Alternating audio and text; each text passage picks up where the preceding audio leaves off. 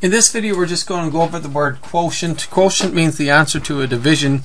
So for example, just you just you can just write down the answer to these. You don't need to write all the words down. But the quotient of 36 and 9 is 4 means yeah, the the answer to the division between 36 and 9 is 4. In other words, um 30 you could write that as 36 divided by uh, 9 equals 4, okay?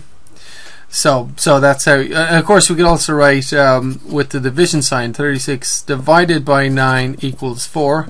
That's another way to write the quotient of 36 and 9 is 4. So you write the 36 first and the 9 afterwards.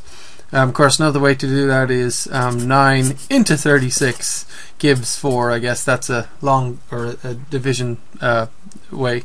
Another way to, to do division. Um, the quotient of x and y is 10. How could you write this? The quotient of x and y is 10. Well, we could go x divided by y, right, equals 10. And how would you write that with the division symbol? The quotient of x and y is 10. So x and y are just numbers. We're just not told what they are.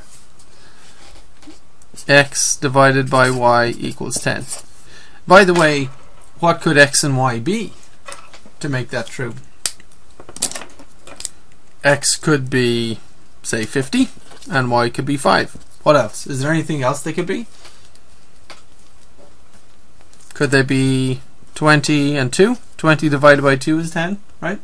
50 divided by 5 is 10. So x and y could uh, could be all sorts of numbers that divide to give 10.